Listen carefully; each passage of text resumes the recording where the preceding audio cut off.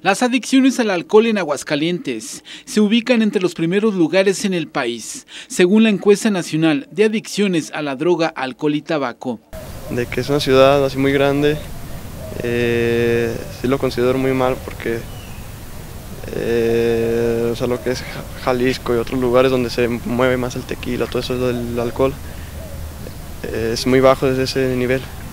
Y aquí como que no, no lo reconocen, que es muy dañino cientos de jóvenes se encuentran afectados en su adicción.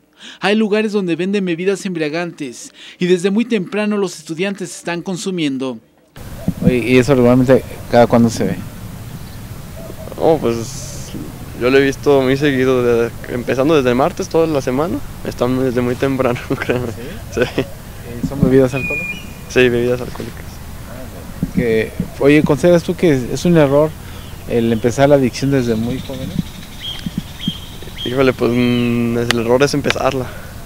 Ese es el, yo sé que es lo que creo, el error es empezar. Aguascalientes ocupan los primeros lugares a nivel nacional en, alcoholismo. Eh, ¿Qué te parece? Esta situación surge, entre otras causas, por la venta de bebidas embriagantes sin límite.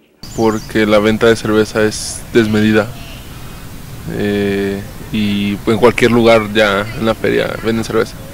Ante esta situación, la adicción ya no respeta género. Pues siendo joven se te hace fácil como que, o sea, tomar alcohol, pero bueno, en, el caso mío, pues yo siento que no se necesita alcohol para divertirse, o sea, la diversión está en uno, no en el alcohol. Con el tiempo el consumo de alcohol empieza a producir severos daños al organismo.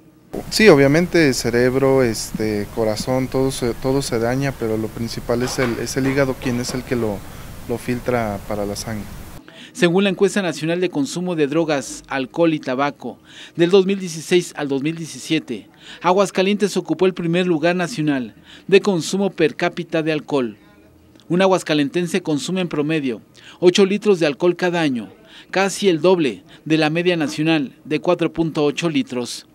Le siguen los habitantes de Jalisco y Nuevo León, con 7.9 y 7.4 litros respectivamente con imágenes de Juan Gutiérrez para Informativo, Jesús Peralta Medina.